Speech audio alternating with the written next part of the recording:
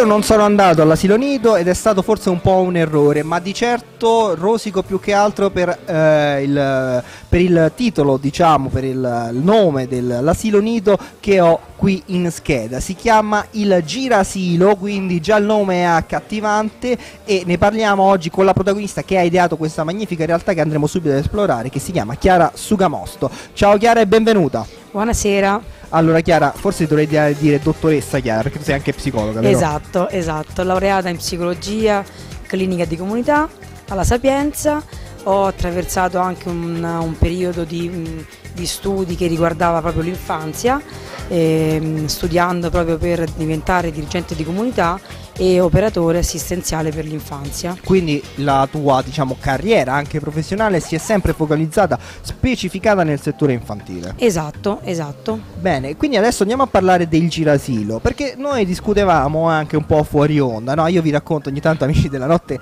anche di che cosa parlo con i nostri ospiti fuori onda e tu giustamente Chiara mi hai fatto presente un problema, comunque una questione molto sentita soprattutto per chi eh, chiaramente è artefice o comunque partecipa o compartecipa al, al fantastico mondo degli asili niti, che effettivamente l'asilo nido del genitore lo vede anche un posto dove il bambino gioca semplicemente, non dico proprio lo getta lì e lo lascia ai mani competenti e lo lascia giocare, però ci siamo un po' vicino. E invece non è così, perché l'asilo nido ha tanti di quei pro che sono importantissimi, al di là del fatto che il bambino sta in un ambiente un po' diverso da casa, al di là della socializzazione, ci sono anche corsi e altra, eh, altri servizi che l'asilo nido offre. E qui lascio la parola a te, servizi del girasilo. Hai assolutamente ragione, eh, la stessa parola asilo e non scuola eh, diciamo, tende un po' a fuorviare le persone perché pensano di, essere, di portare i bambini diciamo così, in una situazione totalmente da parco giochi, quando in effetti non è così. Eh, L'asilo nido è il primo imprinting che il bambino ha con, la, con l'istituzione scolastica Chiaro. e quindi ovviamente a noi spetta diciamo così, il lavoro per così dire sporco di scolarizzare i bambini, cioè abituarli a quello che sarà un domani l'essere parte integrante di una struttura come la scuola. E non è mai banale dirlo, essendo i bambini, anzi il cervello dei bambini come spugne, esatto. effettivamente hanno questo imprinting, tu hai usato la parola giusta, già ai tre anni, due o tre anni, ed effettivamente poi questo ritorna. E io non dico solo secondo me nella vita scolastica, ma in generale nella vita questo considera, considera che parliamo di bambini, noi accogliamo bambini dai tre, me- dai tre mesi ai tre anni. Chiaro. Quindi cominciamo fin da subito a farli entrare in questa piccola comunità che è fatta non soltanto di bambini ma anche di adulti, certo. di questa figura che è la maestra, che praticamente è una figura sempre positiva, che è sempre lì pronta a, a, a propormi qualcosa di molto positivo. Assolutamente. Ovvio che io dico sempre ai genitori, se saranno avvocati e medici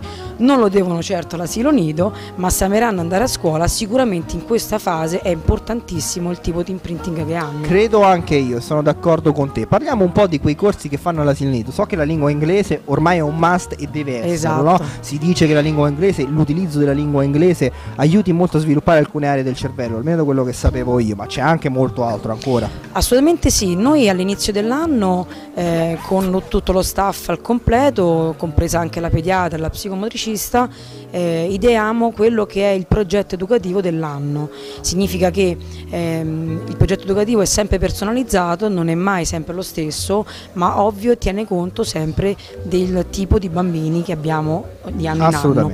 Il metodo che utilizziamo è un metodo sistemico relazionale che significa che non tende a ghettizzare i bambini in base all'età, ma cerchiamo di farli socializzare molto tra di loro, anche di età diverse. E infatti, perché di solito io mi ricordo alle elementari, ma anche alle medie, quelli della prima stavano con quelli della prima, forse di diverse sezioni, ma comunque stavano con la prima, quelli della seconda con la seconda, e invece non si dialogava mai tra chiaramente tra classi diverse, non, è limitante. Non tante, è limitante. Sì, è limitante. E invece con l'asilo nido per fortuna queste barriere non ci sono e si spera che comunque non ci siano anche poi nel futuro, anche se poi chiaramente la scuola è formata in maniera tale da creare queste barriere. Però se l'indole della persona, del bambino, anzi che deve diventare poi un giovane adulto, viene già un poco modellata in questo senso, forse si possono ottenere dei risultati positivi o propositivi. Sì, assolutamente sì, anche perché noi pensiamo sempre che il bambino grande che stimola il piccolo a velocizzarsi in tutte le sue attività, no? nel suo sviluppo, ma in realtà anche il piccolo ha tanto da dare al grande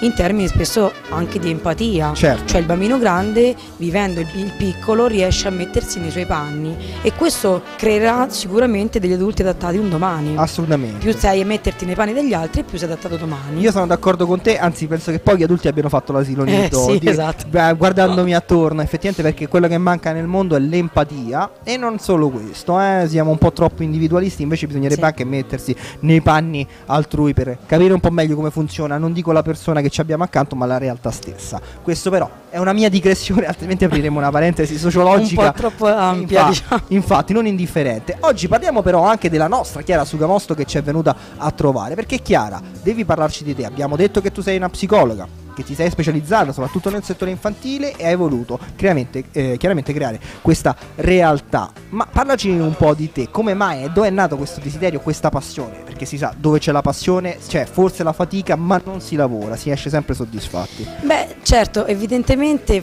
già scegliendo un tipo di studi che riguardava la psicologia, eh, chi meglio di un bambino riesce a, inse- a insegnarci Certo. quello che è in realtà poi la mente umana Eh, e chi meglio di uno psicologo eh, specializzato nell'ambito infantile riesce magari un po' nell'utopia di eh, creare degli adulti, come diciamo prima, eh, il più possibile al- tendenti alla normalità.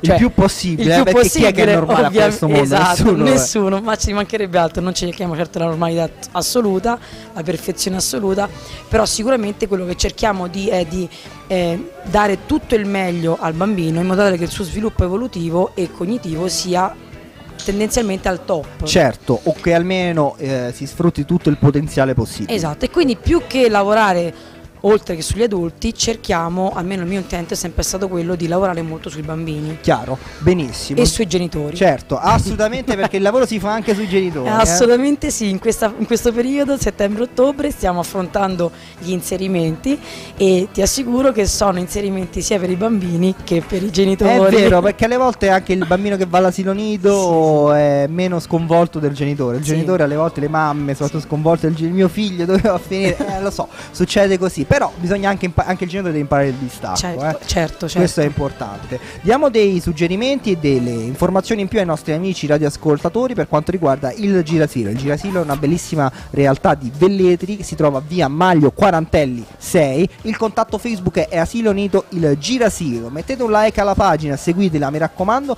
E per tutti i genitori interessati a questa bellissima realtà possono andare sul sito internet www.ilgirasilo.com dove troverete chiaramente, eh, chiaramente tutte le informazioni relative, tra cui l'indirizzo email, il calimero bianco chiocciolagmail.com, bel nome tra l'altro, il calimero bianco, e il eh, numero fisso 06 60 67 1726, ripeto 06 60 67 1726 oppure anche un numero di cellulare 331 32 42 662 ripeto ancora 331 32 42 662 e detto questo cara Chiara vuoi aggiungere qualcosa un messaggio finale ai nostri amici radioascoltatori prima di concludere?